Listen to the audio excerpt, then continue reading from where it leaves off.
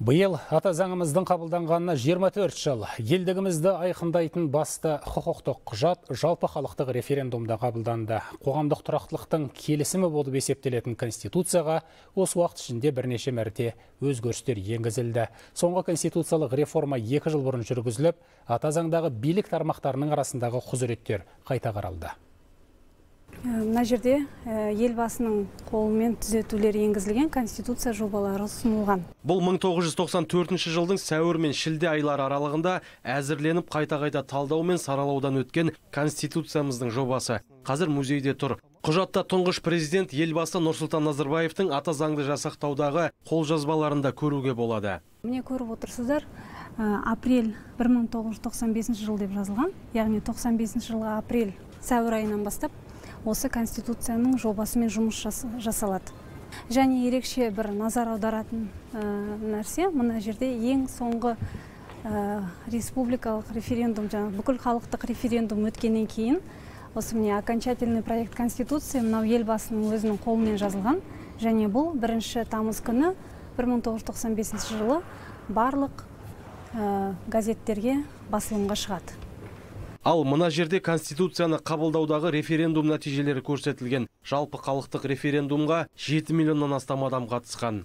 Соңғы варианты міне мынандай түрде шыққан. Елбасының өзінің қолы бар. Сол тарихи әрине тарихи сәт фотода көрсетілген. Осы конституцияны міне көріп тұрсыздар ғой фото фотодағы осы конституцияны жаңағы таныстыру кезіндегі бұл тарихи сәт. Ата заң қазір елдегі барлық жүйенің тұрақты жұмыс істеуіне жауап беретін басты құжат. Бүгінге дейін бізде үш рет конституциялық реформа жүргізілді. Соңғы рет 2017 жылы. Билік тармақтарының арасындағы құзыреттер бөлінді. Көптеген жаңалықтар конституцияға әрине басқа да парламенттің не ұсыныстары бар бірақ елбасының ұсыныстары өте құнды деп айтуға болады. Және де ол ұсыныстар осы 17 жылғы болған конституциялық реформа бізде. Ол немен байланысты болды? Елбасы кейбір өзінің өкілеттіктерін құқыларын басқаларға берді. Мысалы парламентке немесе үкіметке жүктеді.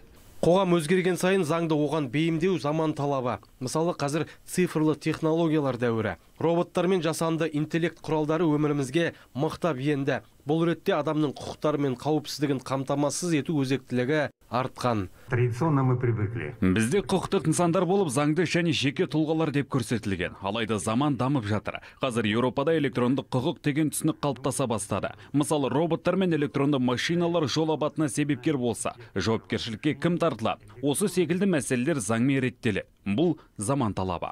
Жалпы халықтық референдум арқылы қабылданған ата заң қазақстанның тұрақтылығы мен дамуының негізгі кепілі. Құжаттың саяси бейнесін елдегі әлеуметтік экономикалық құқықтық жүйенің даму барысынан байқауға болады.